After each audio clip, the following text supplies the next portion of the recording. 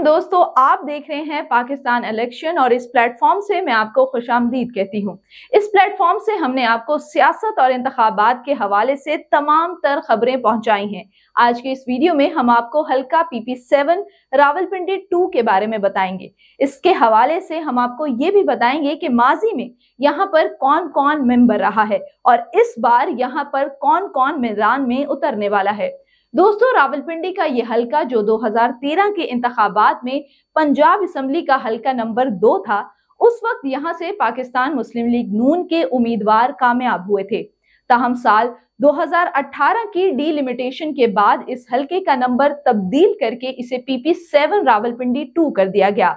दोस्तों, अगर बात करें 2013 के इंतखाबी दंगल की तो उस वक्त पाकिस्तान मुस्लिम लीग नून के टिकट होल्डर राजा मोहम्मद अली ने इस हलके से मैदान मारा था, जिन्होंने सैतालीस वोट हासिल किए थे। उन्होंने अपने मद्दे मुकाबिल राजा सगीर अहमद को तकरीबन पाँच हज़ार वोटों से शिकस्त दी थी। कुल 11 उम्मीदवार मैदान में उतरे थे तहम मुकाबला राजा सगीर अहमद और राजा मोहम्मद अली के दरमियान ही रहा था। राजा मोहम्मद सगीर पाकिस्तान तहरीक इंसाफ के टिकट पर मैदान में उतरे थे। दोस्तों, आपको ये भी बताते चलें कि 2013 के इंतबात में इस हलके से इंतबात में हिस्सा लेने वाले lieutenant colonel retired Mohammad Shabbir Awan ने भी खातिर खा वोट हासिल किए थे। उन्होंने पंद्रह हज़ार आठ सौ अट्ठासी वोट अपने नाम किए, जबकि एक और उम्मीदवार, तारिक महमूद मुर्तजा ने भी तेरह हज़ार दो सौ तैतीस वोट अपने नाम किए।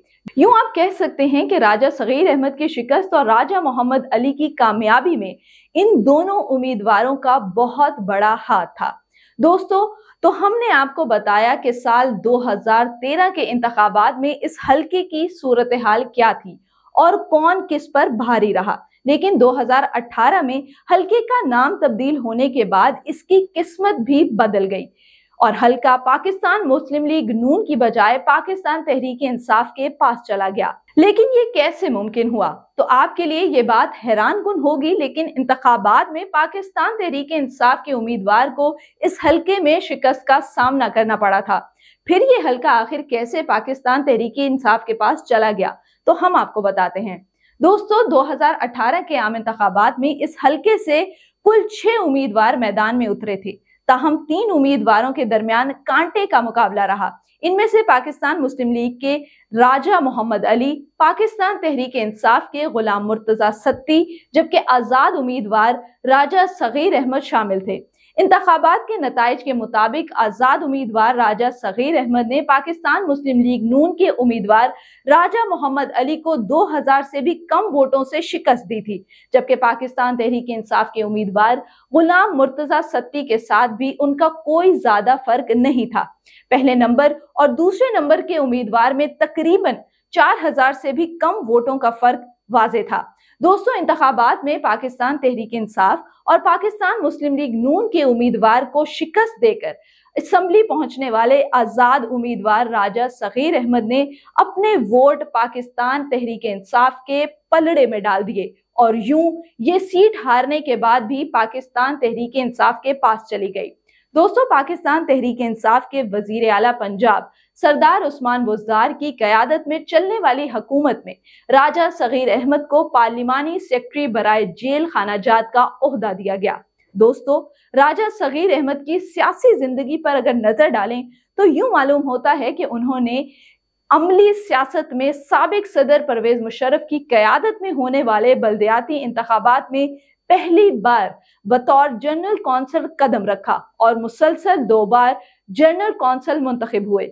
उन्होंने बतौर जनरल कौंसल एक अच्छी पहचान बनाई और साल 2013 के आम इंतबात में हल्का पीपी टू रावलपिंडी टू से पाकिस्तान तहरीक इंसाफ के उम्मीदवार बन गए। अगरचा वो कामयाब तो ना हो सके, ताहम उन्होंने मद्दे मुकाबल पाकिस्तान मुस्लिम लीग नून के उम्मीदवार को खूब टफ टाइम दिया। दोस्तों 9 मई के वाकयात के बाद पाकिस्तान की सियासी सूरत हाल यकसर तब्दील हो चुकी है। अगरचा अभी तक इंतबात का कोई इम्कान नज़र नहीं आता, लेकिन इस बार इंतबात में अवाम अपना फैसला किसके हक में सुनाएगी? इस हवाले से कुछ भी कहना कबल अज वक्त है। रावलपिंडी जीएचक्यू पर होने वाले हमले के बाद पाकिस्तान तहरीक इंसाफ और उसके उम्मीदवार मंजर आम से बिल्कुल गायब हो चुके हैं। बल्कि कई उम्मीदवार पाकिस्तान तहरीक इंसाफ से लाताल्लुकी का इजहार भी कर चुके हैं। देखना यह है कि आइंदा आम इंतबात में इस हल्के से पाकिस्तान तहरीक इंसाफ का उम्मीदवार कौन बनता है? तो नाजरीन, सियासत और उससे जुड़ी कहानियाँ और ताज़ा तरीन मालूम जानने के लिए देखते रहिए पाकिस्तान इलेक्शन।